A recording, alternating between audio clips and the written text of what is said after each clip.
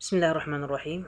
آه، مواصلة في آه، برنامج الوورد ما زلنا خلصنا في المحاضرة الأولى موضوع الإدراج تعرفنا على إضافة الجداول والصور والقصص الفنية والأشكال والرسم.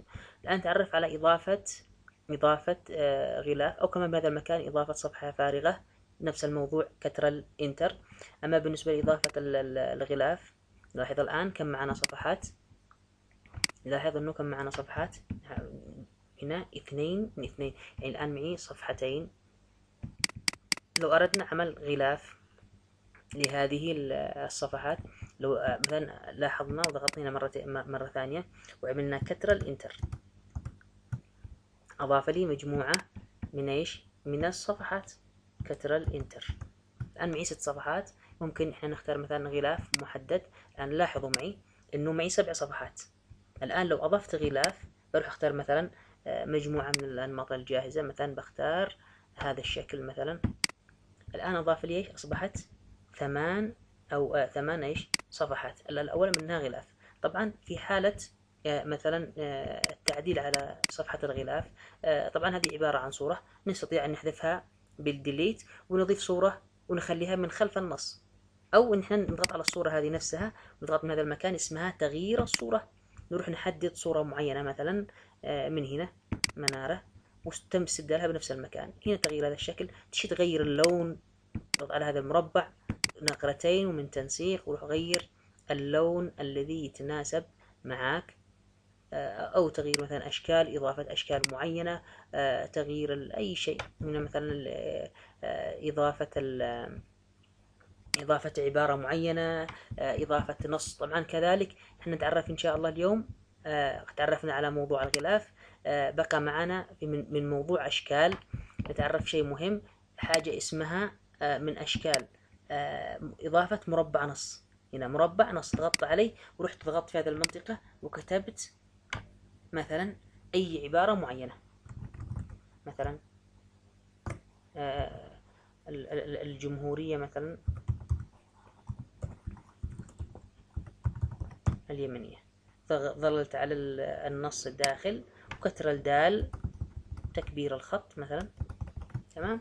آه هنا مثلا إنتر آه وزارة التعليم العالي.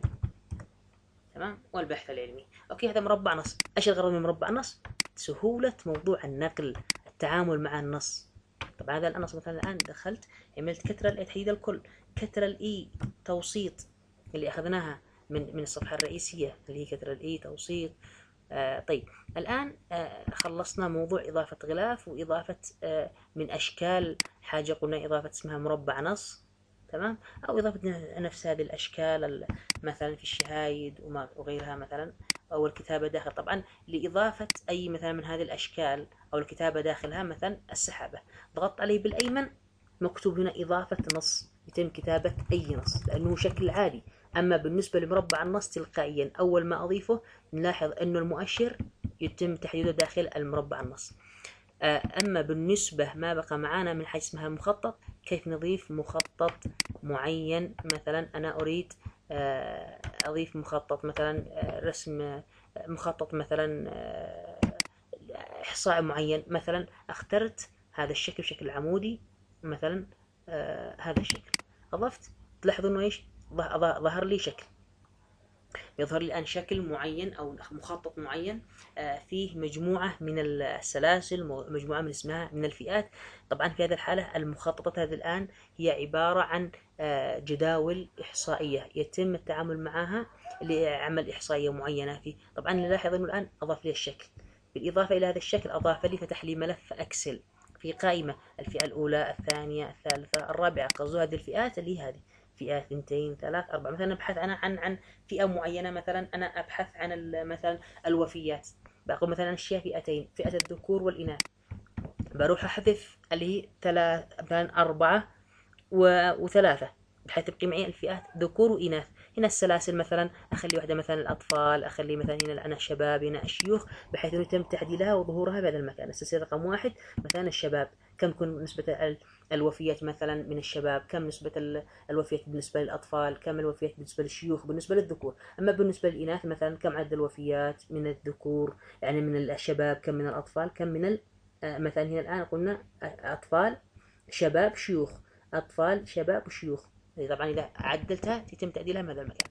طبعا بالنسبة لموضوع المخططات خلصنا موضوع المخططات. ننتقل الآن إلى آه، موضوع جديد آه، من ما زلنا في قائمة إدراج وفتحنا الآن حاجة اسمها الرأس والتذيل الآن لاحظوا معي الآن حقي الصفحات. بهذا الشكل. أنا أشي مثلا أضيف مثلا هنا مثلا في حث من الملازم يتم مثلا كتابة فوق عنوان عنوان المحاضرة أو الملزمة آه، بهذا الشكل بالراس الصفحة. وكمان مكتوب في يعني في أسفل الصفحة إعداد الطالب فلان أو إشراف الدكتور. بس تلاحظ أنه مكررة في جميع الصفحات. هذه يتم إعدادها من قبل الرأس والتذيل. مثلا دخلت منطقة اسمها الرأس ضغطت على مثلا أخترت هذا الشكل. الآن نلاحظ أنه هذا الشكل تم تطبيقه على جميع الصفحات. ما عدا الغلاف. الآن تم إضافة الرأس الصفحة هذه المنطقة لجميع الصفحات. لو رحت الآن أنا مثلا وعدلت مثلا في هذا المكان. قلت مثلا هنا الحاسوب. الحاسوب. تلاحظون إيش؟ إنه بتتكرر في جميع الأماكن. رحت عملت الصفحه الرئيسيه ورحت مثلا قلت تكبير الخط. وقلت مثلا غيرت اللون نلاحظ إنه اي تنسيق الآن تم لاحظ إنه تم تطبيقه على جميع الصفحات. رحت مثلا كتبت هنا مثلا آه، اللي هو مثلا المحاضرة الأولى. المحاضرة الأولى أو الثانية أو كذا. الآن لاحظ إنه إيش؟ تم تعديلها أو إضافتها في جميع الإيش الصفحات. كذلك في منطقة اسمها التذييل رحت مثلا كتبت هنا إعداد الطالب. الآن إعداد الطالب فلان إشراف وعملت مسافة. space space وكتبت إيش؟ إشراف الدكتور. ورحت مثلا هنا بهذه المنطقة وعدلت وسحبت. الآن نلاحظ أنه أي شيء هذا الآن أضفته إيش؟ تم إضافته في جميع الصفحات في التذييل آه في منطقة اسمها والتذييل كيف أخرج من الرأس والتذييل أضغط في وسط الصفحة في هذا المكان. نقرتين. للخروج من الرأس والتذييل لو أردت فيما بعد أتم مثلا الآن عملت كترل إنتر صفحة جديدة.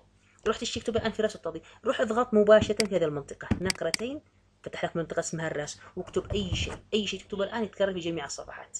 إذا أردت موضوع إيش؟ إضافة آه، مثلا آه، عنوان معين آه، لجميع الصفحات.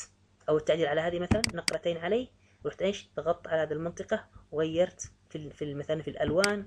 مثلا اللون البرتقالي هذا.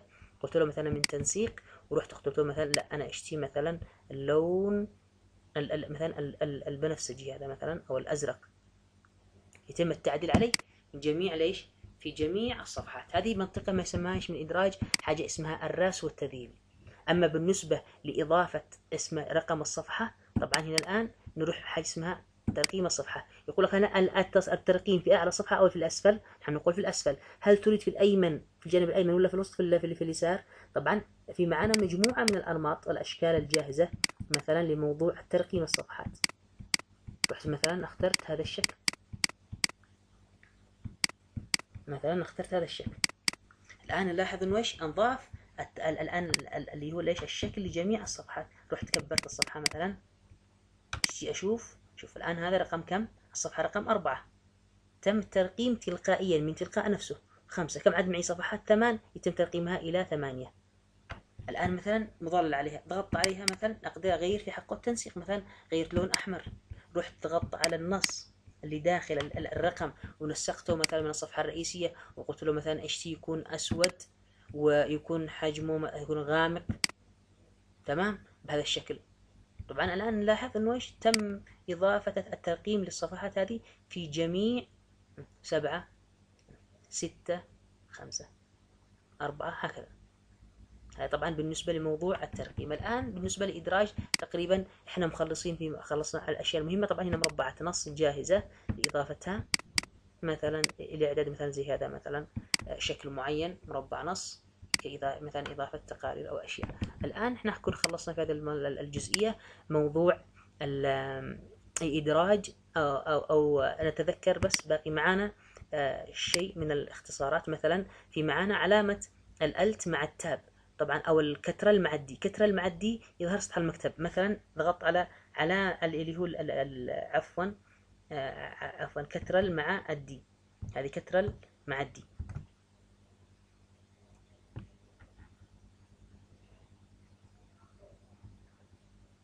عفوا آه، اللي هو حصل هنا عبارة عن ليست ال control وإنما هي علامة ال Windows مع حرف ال D علامة ال Windows إظهار سطح المكتب أو إرجاع القائمة. علامة ال Windows مع حرف ال D يتم تعديلها. علامة ال Windows هذه control C control V